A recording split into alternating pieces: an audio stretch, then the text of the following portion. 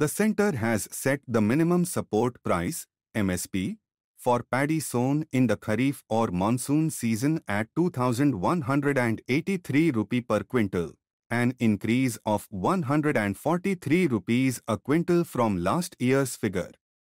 The 2023 to 1924 MSPs for 17 Kharif crops and variants were approved at a meeting of the Cabinet Committee on Economic Affairs, CCEA, chaired by Prime Minister Narendra Modi.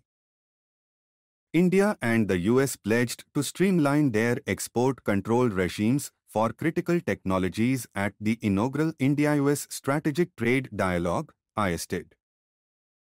The inflationary impact of the 5% to 11% increase in the minimum support price, MSP, for farm produce will be an additional factor for the RBI's Monetary Policy Committee, MPC, to consider at its bimonthly policy review.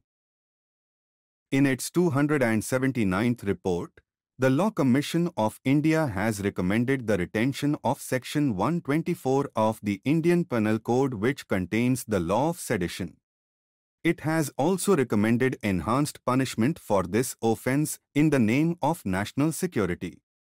While Section 124 a provides for a minimum imprisonment of three years, the Commission recommends a minimum of seven.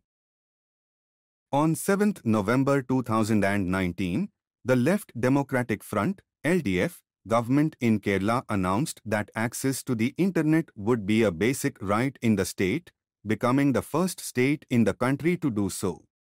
The declaration came three years after the UN had passed a resolution recognizing internet access as a basic human right.